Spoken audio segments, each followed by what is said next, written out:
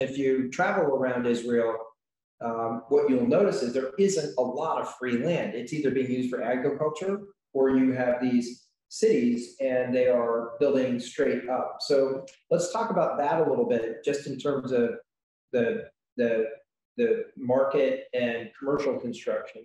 So we see cranes everywhere. Mm-hmm. Like there wasn't one place where I didn't see mass amount of cranes. Whoever, whoever's got a crane business in the country. well, sure. Who who's building here? Where where where's that money? Where are those resources coming from?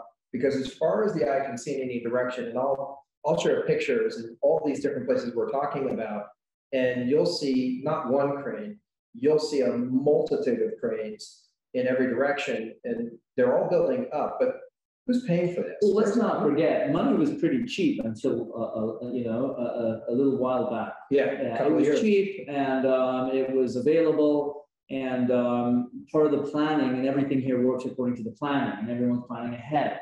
And so there's plans that were set a few years ago are, are now playing out.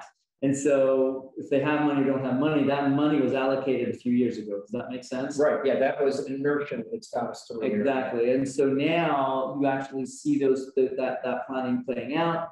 And um, and yeah, they're building up. And I mean, a few years ago, the amount of high-rise buildings was, you know, it was you can imagine what happened now. I mean, everywhere you look, it's, it's part of our life. I'm on the 40th floor myself.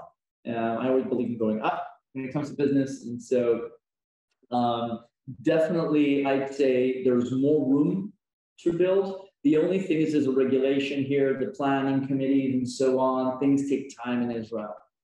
And so if anyone is interested in actually investing, I would highly recommend them going and starting to do their due, due diligence because you can actually acquire land in Israel that has not yet been approved for building. It's only approved, it's semi-approved for building. That's a process. It can take many years sometimes. And so you can buy a piece of land and you can buy, I don't know, a certain amount of, of, of a certain size uh, of agricultural land that is going to be intended for construction. Sort of me, it's sort of like Wayne Gretzky said, you, know, you skate to where the puck's going to be, not where it is.